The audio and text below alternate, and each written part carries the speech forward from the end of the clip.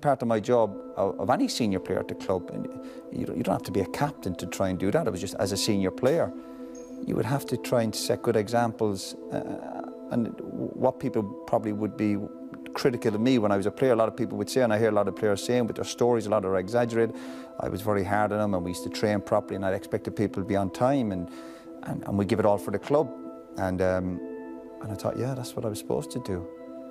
But but I wasn't necessarily there to. I, I, I was there to win at Man United. I wasn't there to be pals with everybody.